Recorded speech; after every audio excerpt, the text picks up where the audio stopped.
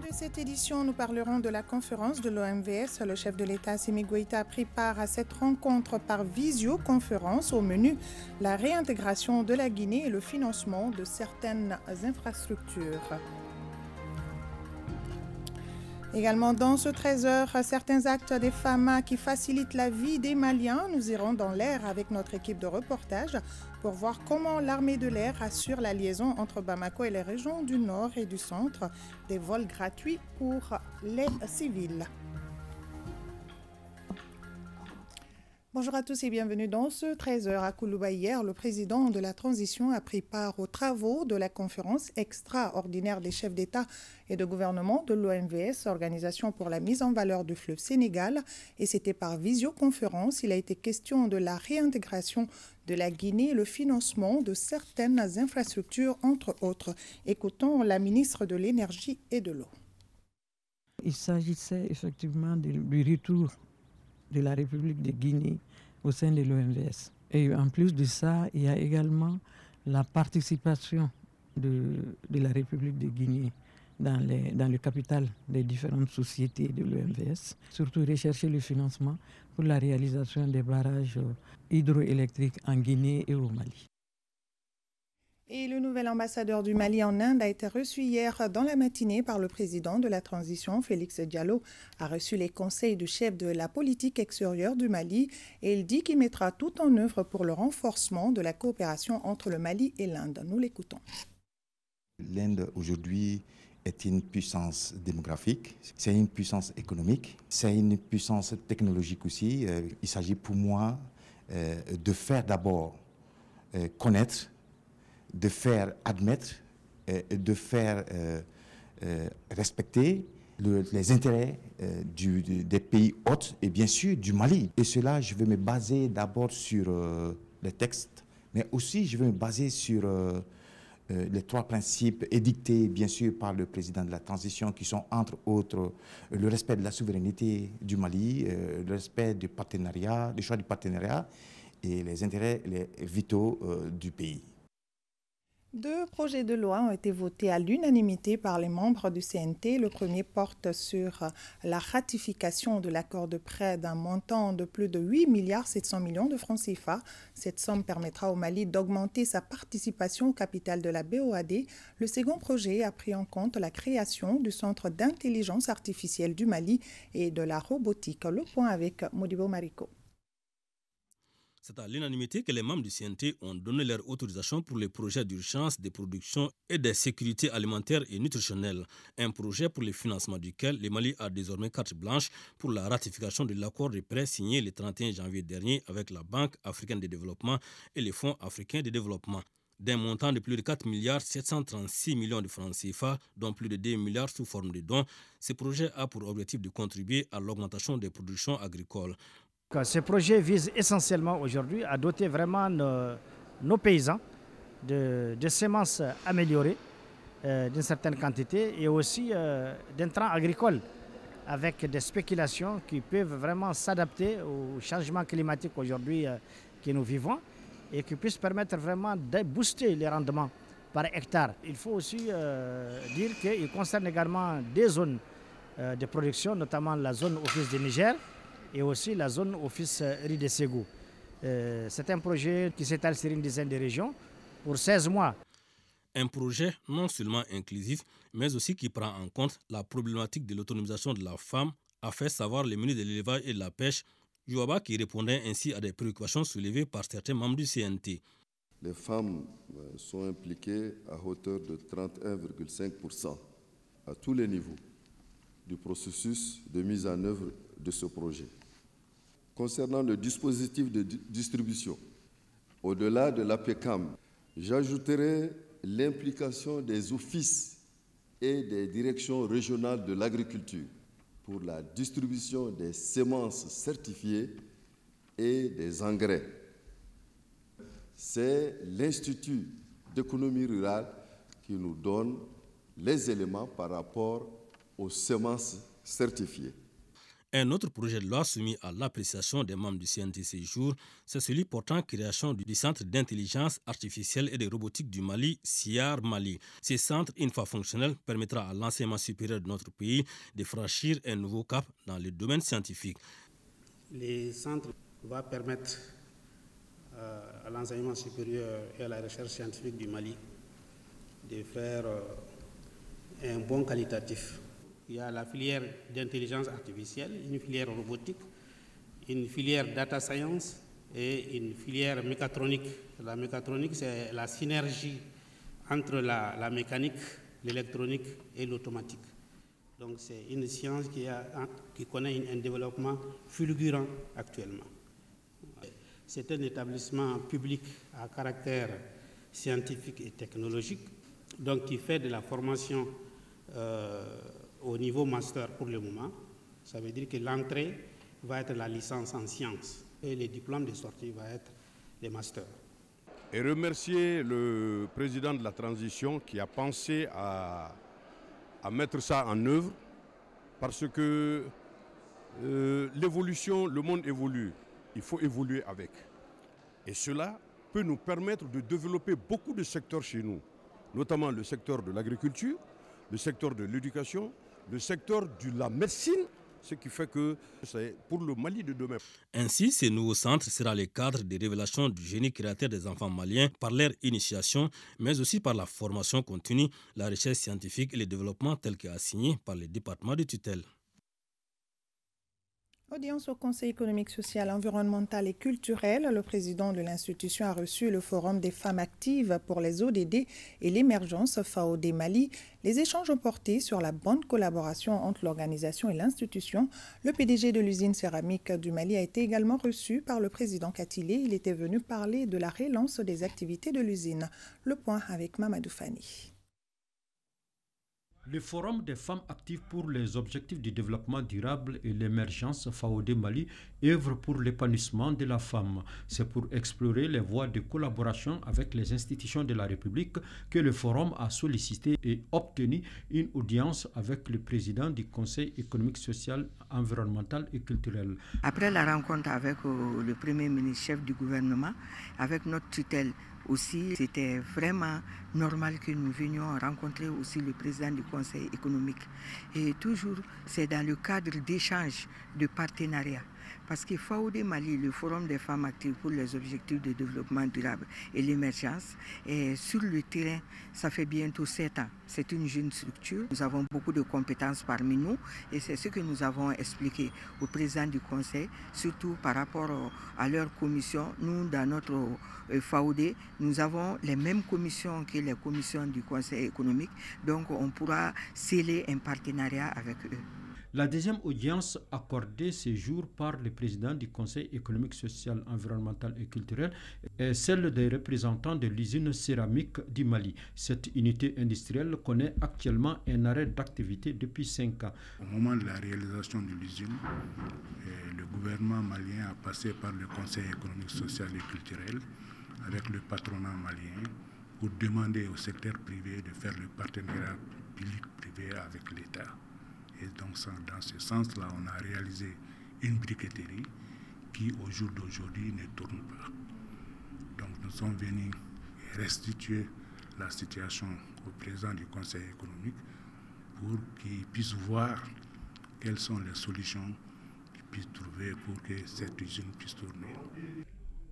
Au sorti de cette audience, le président Yacouba Katile a rassuré ses invités du jour de l'accompagnement de son institution à œuvrer pour donner une suite favorable à leurs requêtes. Parlons également de cette assistance aux veuves et orphelins des camps militaires de Ségou et c'est le président de la transition, colonel Assimi Goïta, qui apporte ce reconfort. Des kits alimentaires et des kits scolaires ont été remis aux veuves et orphelins des militaires tombés sur le champ d'honneur au RTM Ségou, Ramata Konate et Moussa Fofana. C'est une cérémonie de donation pleine d'émotions puisque les bénéficiaires sont les veuves et les orphelins des militaires et paramilitaires de Ségou. Ces centaines de personnes bénéficient encore une fois de la générosité du président de la transition, colonel Assimi Goïta. La cérémonie de ce matin témoigne l'attachement du président de la transition à la solidarité envers les couches défavorisées et marginalisées. C'est ainsi qu'il a octroyé 100 kits alimentaires qui seront remis aux veuves de nos militaires tombés sur le champ d'honneur, ainsi que 100 kits scolaires qui seront remis aux enfants, nos enfants, les enfants de la République. Ces kits constituent à la fois une assistance et un réconfort pour les bénéficiaires et les responsables du service social des armées de la région. Je dis grand merci au président de la transition, chef de l'État, chef suprême des armées, le colonel Assimi Goïta, qui, en deux ans à la tête du Mali, a mis un point d'honneur à rendre audible le volet social. Nous nous réjouissons de ces dons du président Assimi Goïta. Ces gestes nous vont droit au cœur. Merci au président Assimi et à son gouvernement. Que Dieu stabilise les Mali et accorde la paix à l'âme des disparus. Aux représentants du donateur de rappeler l'importance et la pérennisation de la solidarité, une valeur ancestrale au Mali. Un moment d'émotion et d'espoir émotion parce que le Mali a perdu des, êtres chers espoir parce que euh, avec ces remises de kits, euh, les veuves savent qu'elles sont, ne sont pas oubliées que tous les Maliens, à travers le président de la transition, le colonel Assimi Goïta, les soutient. Cette remise de kits alimentaires et scolaires se situe dans le cadre des activités de la 28e édition du mois de la solidarité et de la lutte contre l'exclusion. L'armée malienne, ce n'est pas uniquement que pour la guerre. En plus de la sécurisation des personnes et de leurs biens, elle pose au quotidien des actes qui facilitent la vie des Maliens. Par exemple, l'armée de l'air assure une bonne liaison entre Bamako et les régions du centre et du nord. Chaque semaine, des centaines de civils et leurs bagages sont acheminés par avion à leur destination et gratuitement, cela pour le plus grand bonheur des populations. Suivant le trajet Gao-Bamako avec une de nos équipes de reportage, Abdoulaye Sako, Ibrahima Traoré, Sidiki Balo avec le concours de la DIRPA. Gao, il est 14h ce lundi 16 octobre 2023. Un avion de type Kaza de l'armée de l'air vient de décoller de l'aéroport, non pas pour appuyer les troupes au sol. Sa mission du jour, transporter près de 80 civils et leurs bagages à Sévaré et à Bamako. Et c'est le colonel Sidi Sadio Diallo et son équipe qui tiennent la baguette.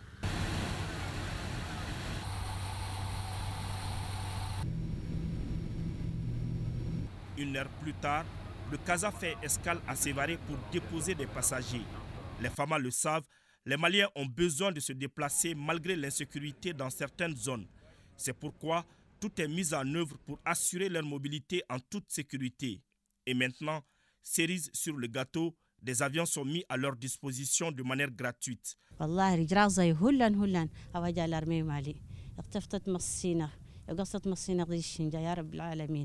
وين مصينا يا رب العالمين يجرى زي هلن هلن هلن والله. سينو جروانا هي نزجام. نمو كواس ما دين هي الغيالين ما الحمد لله الحمد لله. أنا نقاو فولا. أم بكتا سيجي بمكو فولا. أما بروبليم فوي سورو. أفورا كان أنا دومي أنا أنا أدومي أنا أنا. أن سيرم غاو بما غاو an bɛ sɔgɔmaden fana u y'an wele an nana an bɛ ka taa fana albarka ala ye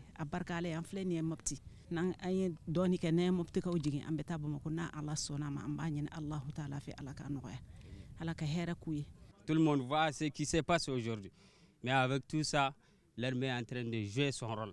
Quand on était dans l'avion même les civils étaient tellement contents vraiment. Ils voient comment l'armée a accueilli les passagers jusqu'à arriver à Sévaré. Et nous, euh, tout de suite, Inch'Allah, on, on, on, sera, on, on, va aller à, à Bamako.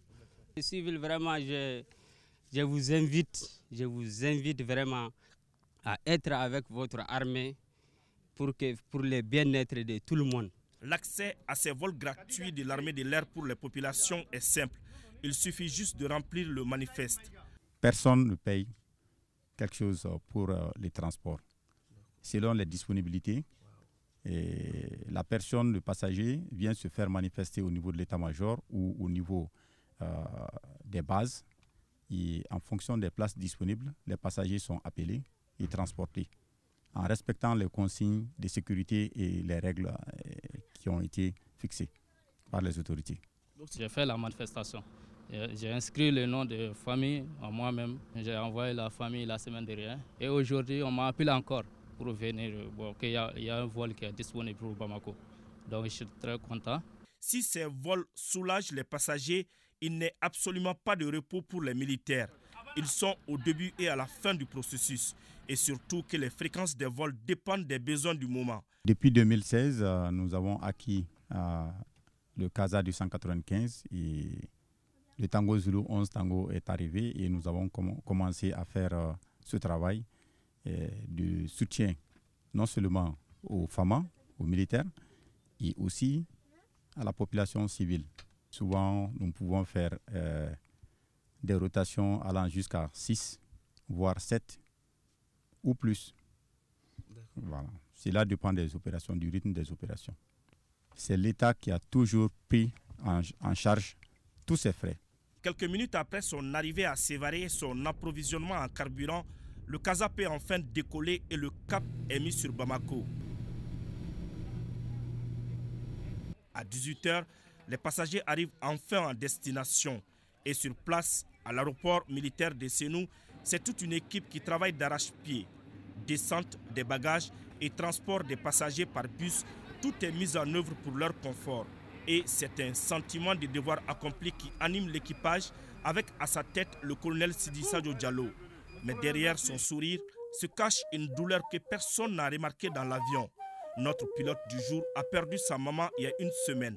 Tout comme des milliers de militaires qui se battent pour le pays, il n'a rien laissé transparaître, car il le sait, aucun sacrifice n'est de trop pour la patrie.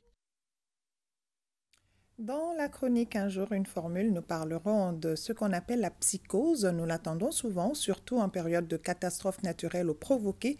C'est pour désigner une récidive, une répétition, une aggravation de la situation. Mais ces mots sont vraiment synonymes de la psychose Pas sûr, et c'est l'avis d'un spécialiste qui décèle une confusion dans les terminologies. Euh, Sori Ibrahim Keita. La confusion dans la confusion. Parler de piscose par les temps qui courent, c'est comme évoquer la corde dans la chambre d'un condamné à la pendaison, du moins dans le subconscient collectif. Ça bouillonne dans toutes les têtes, sauf dans celle du psychologue clinicien qui estime qu'il y a confusion entre produits et emballage. Dans le langage courant, les gens disent Ah, il y a une psychose en ville, il y a une psychose qui, au niveau de la population, tel, tel, tel coin. Ça, c'est des termes, une expression banale qui cliniquement n'a pas de sens. La psychose serait donc une forme ignorée du stress. Euh, la psychose est une catégorie de maladie mentale. C'est le deuxième type de maladie mentale. Une psychose est une maladie mentale grave qui amène une profonde aliénation de l'être humain. Qu'est-ce que c'est que l'aliénation? Un aliéné, c'est quelqu'un qui est étranger à son propre corps. Donc la psychose est une maladie mentale grave entraînant une aliénation de la personnalité, c'est-à-dire un déni total de la réalité. L'individu ne peut pas savoir si c'est le jour maintenant ou si c'est la nuit. La personne malade confond souvent ce qui est réel et ce qui ne l'est pas, souffrant même d'hallucinations visuelles ou auditives. Isolement, méfiance, angoisse, dépression en sont des signes avant-coureurs. Quand par exemple il y a une guerre, il y a une crise, les gens sont en train de s'entretuer, il y a la peur sur la vie, n'est-ce pas comme on le dit, on dit on est dans un état psychotique c'est-à-dire un état que nous ne comprenons pas. Aucun moyen d'apprendre cette chose. C'est ça l'état de psychose. Il existe diverses formes de psychose. Les psychoses maniaco-dépressives avec des troubles importants de l'humeur, les psychoses hallucinatoires, les psychoses délirantes, même la schizophrénie toute chose loin des réalités reçues, sorties du bain révélateur de l'imaginaire collectif. Quand on dit que vous êtes atteint de psychose, c'est une maladie réelle qui a un nom et qui aura son traitement. quand on est devant quelque chose qu'on ne connaît pas, quand on est devant quelque chose qui me fait peur ou je n'ai pas de moins d'explications, alors je perds mes moyens. En perdant ces moyens, on, tombe dans un état de stress. Le mot stressé, c'est ce qu'on aurait dû dire. L'état de psychose dont les gens parlent, par exemple, moi ou vous, ou la foule, on se déchaîne, on court, on gesticule, on dit des choses. Alors cet état-là, nous sommes dans une situation de non-contrôle de soi. Et donc, n'importe qui, en tout cas surtout ce malfaiteur-là, il a le chemin libre pour poser ses bombes, faire ce qu'il a à faire et augmenter le niveau de frustration et le niveau désarticulation de la population. Absolument. Et comment on peut anticiper alors sur la situation? Bien. Pour anticiper ces situations, M. Keita, il faut aider les gens et leur expliquer à l'avance. C'est comme s'il y a une sensibilisation, une prise en charge avant d'avoir la maladie. En psychologie, par exemple, il faut qu'il y ait des émissions. Souvent qu'on explique aux gens que quand vous avez telle chose, vous êtes devant tel problème, voilà comment vous devez vous comporter. Voilà ce qu'il faut dire ou ce qu'il ne faut pas dire.